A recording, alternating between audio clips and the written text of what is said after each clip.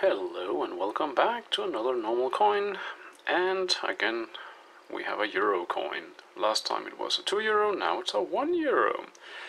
So I have a grand total of 3 euros. I'm rich or something. Anyways, um, pretty much the same as the previous one. It looks the same on this side. It has the big one and then we have the countries that are part of the union and it says euro there. It's hard to see on this one though but there are still the lines going through. We have stars at the bottom stars at the top. And yeah the condition is not the best so maybe one in better condition that would be easier to see but as far as I can make out that's what's there. And really not else not much else here.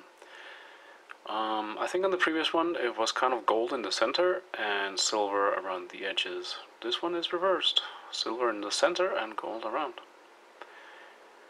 I don't know what I like the most. I guess maybe this one. But either way, that's what's there. Well, it's not gold, by the way. It's just something that looks like it.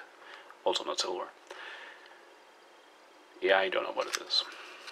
But well on the other side and here we have something that I kind of mentioned on the last one also it's from 2007 here easier to see than the last one. We have the stars around. We have some dude. I don't know who that is.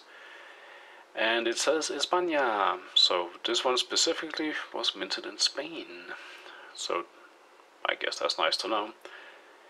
Um, maybe that's the king? If not, I don't know. But I guess it's someone important in Spain. But still kind of nice they put the name there of the country, so we know where it came from, so we don't have to guess.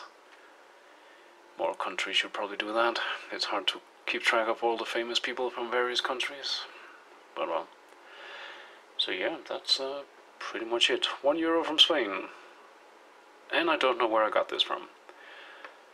I mean, I've traveled through Europe. I think I, I may have picked this up at an airport. So, but I never went through Spain. Well, I did once, but I didn't spend any money, so. I think I might have gotten this in Amsterdam, if I had to guess. Um, so, but I mean, that's the whole point. You can use them all over Europe.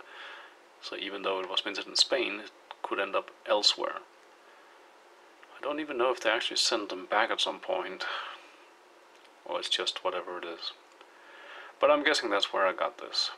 Going through Amsterdam airport, bought some chocolate, and got this at change. Best guess. Well, anyways, um, thank you for watching. Until next time, bye bye.